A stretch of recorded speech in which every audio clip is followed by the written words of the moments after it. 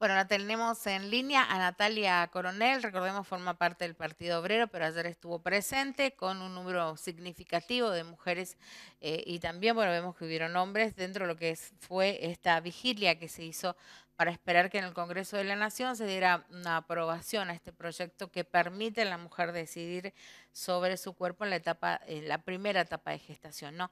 Natalia, ¿cómo estás? Muy buen día. Hola, buenos días, buenos días. Estoy eh, feliz, obviamente. Bueno, ¿qué, ¿qué se ha decidido ayer en el Congreso de la Nación y cómo fue la vigilia que pasaron? Bueno, mira, felizmente por varias cuestiones, como quien dice, eh, anoche, bueno, desde la tarde hasta, hasta las 22, eh, como nos consignaba la autorización, Hemos hecho esta vigilia donde se hicieron intervenciones de diferentes organizaciones, eh, donde actuaron artistas, eh, hicieron también alguna, algunos dibujos, todo en espera, también escuchamos en vivo un poco el debate, así que bueno, todo en espera de este largo debate que se ha dado para hoy despertarnos y encontrarnos con esa gran alegría de que haya salido a favor. Así que bueno, este pasito de pasar los diputados ya se ha, se ha hecho, ahora vamos hacia el Senado. Eh, no es menos importante, es más que importante, sabemos que en el 2018 en el Senado justamente fue donde se trabó eh, la ley, creemos que esta vez tiene más fuerza la marea verde, y bueno, estamos interpelando más que nada a, estos senadores que hoy, eh, esta vez sí o sí, tiene que ser ley. ¿Cómo fue el tratamiento el año pasado? ¿En dónde se trancó la ley? o sea, el proyecto, 2018 justamente en senadores es donde tuvimos eh, donde tuvimos eh, minoría. bueno, fue un debate difícil porque, bueno, hubo una fuerte presión por parte de la iglesia, por parte también eh, de los diferentes eh, sectores evangélicos también, donde bueno la iglesia puso, todo su peso, así como lo está haciendo ahora y supongo que el senadores lo va a hacer igual, lo cual dentro de la historia de, la humanidad eh, siempre ha tenido justamente esa injerencia en todo lo que es la vida del ser humano, las diferentes religiones.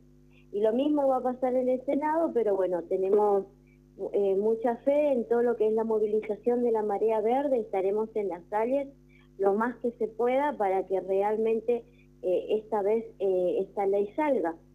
no nos vamos a quedar, acordate que nosotros tenemos a un senador que es el representante, presidente del bloque peronista, que es Mayán, va a ser uno de los mayores obstáculos porque ya de entrada manifestó de que ese tema no se tendría que haber hablado, de que nosotros eh, habían otras prioridades, lo cual denunciamos y bueno, vamos directamente eh, justamente contra ese tipo de pensamiento, de ideología o de postergación que hacen contra la mujer.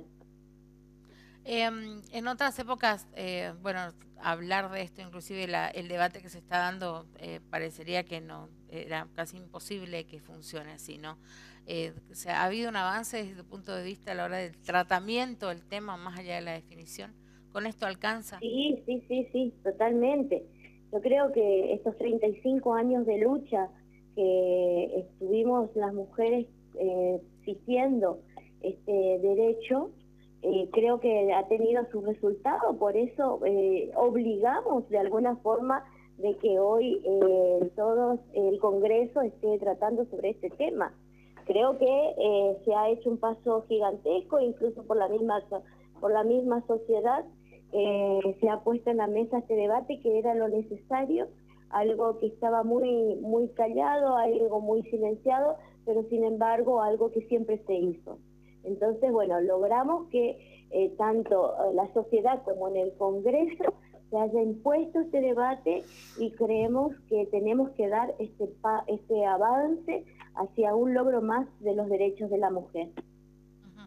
Eh, Natalia, de, todo esto, ¿quiénes estuvieron en la plaza de todo esto? Por ahí es como que se estigmatiza, se, se mantiza de una manera el poco positiva. De mujeres trans, estuvo Mumalá, que es la organización de mujeres de Barrio de Pie, eh, Católicas por el Derecho a Decidir, eh, Psicoaldea, el Frente de Artistas, que tuvo un lugar muy, eh, muy importante, muy protagonista, porque logramos que hoy el arte se exprese justamente a favor de uno de estos derechos, y así lo hizo también con la participación eh, de su arte dentro de, dentro de la vigilia.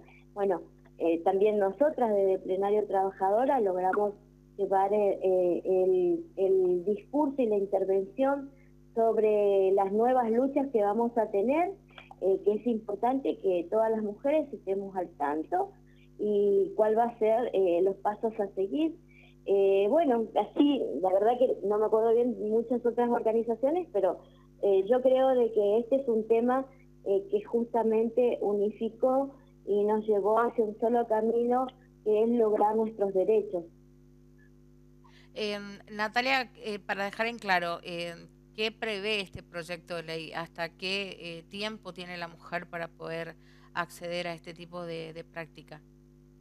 Bueno, la mujer eh, tiene tiempo de acceder a las 14 semanas, eh, tiene también todo el apoyo posterior a la interrupción, tiene todo el seguimiento y el acompañamiento de la asistencia tanto de salud como de información sexual eh, para que la mujer no lo vuelva a hacer justamente porque la intención de esta ley es que, el aborto sea la última y única vez por opción.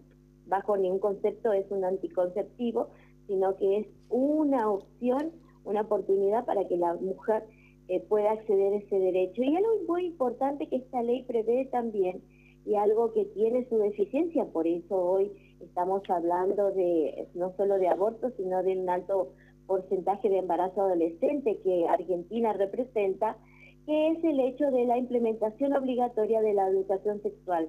Si bien desde el 2006 hay una ley, pero bien sabemos de que eh, también quedaba a tutela de cada provincia de cómo se aplica, si se aplica o no. Bueno, este proyecto va a prever de que se tenga todas las instancias como un presupuesto, como una exigencia general, de que la educación sexual realmente sea aplicada en todos los sectores. Para prevención, porque lo que prevé justamente esta ley es que uno tenga, pueda prevenir, tenga toda la información necesaria para que podamos vivir eh, una sexualidad sana y responsable más que nada. Bueno, Natalia, muchas gracias por la comunicación. ¿Algo más que nos quieres decir? Invitarla a todas las mujeres que a lo mejor en esta primera etapa de lucha no se sumaron bueno, las invitamos a acercarse, seguramente vamos a estar en las calles con mesita, acercarse a conversar, a preguntarnos. Esto es una cuestión de información y pensar con estas mujeres que ya están en la calle a continuar porque el Senado es el sector duro, el cual la mujer tiene que tener mucha fuerza, mucha presión y tiene que exigir de que realmente este proyecto sea ley para que las mujeres podamos tener este derecho a decidir y principalmente pensar en una maternidad deseada, que eso es lo que más queremos nosotros. ¿Y recordás los votos de los senadores por Formosa en la última votación?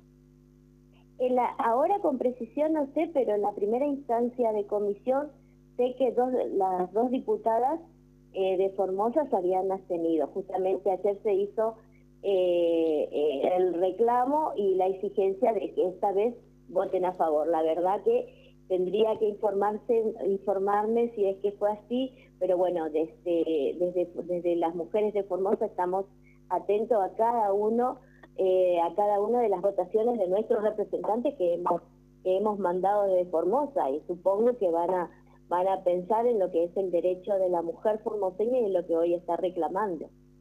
Bueno, gracias por la comunicación, Natalia. Un abrazo gigante. Bueno, eh, Natalia Coronel, integrante del Partido Obrero de Formosa, fue una de las que estuvo ayer en la Plaza San Martín esperando la definición del Congreso de la Nación, que dio positivo a esta instancia. Bueno, hay que ver qué pasa en eh, senadores en breve. Se supone que debería ser antes que termine el año.